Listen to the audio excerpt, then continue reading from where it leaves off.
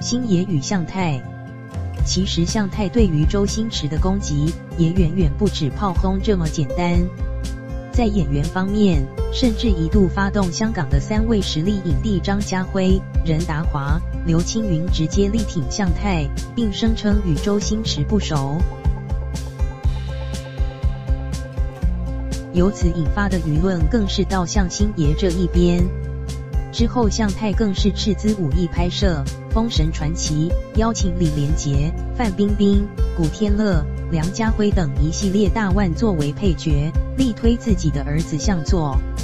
在这部巨星云集的电影，看起来向太的信心满满，并放下豪言要打破周星驰《美人鱼》的票房纪录。可是票房惨遭滑铁卢。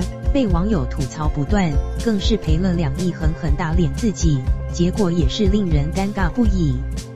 之后据消息称，这部《封神传奇》还将继续投资十三亿拍续集。对于该部作品能否真正的翻身，许多人也表示已经做好不看好的准备了。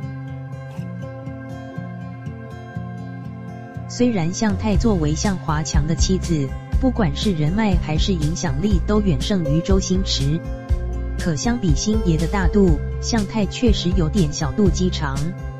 对于星爷和向太之争，或许还真的无法评判到底谁对谁错。但是就凭周星驰那句话，对于作品的认真，就足够肯定他的为人。以上的内容，你们能从中看出什么了吗？娱乐明星是一种职位，明星只是他们职位的名称。他们的曝光度虽然很高，但是这就是他们的工作需求。说到娱乐圈，有些人便会感到不好的感觉，但是在小编眼里，我们不能因为网络上的舆论去判定这个职位的好与坏。毕竟每个职业都有每个职业生存的规则。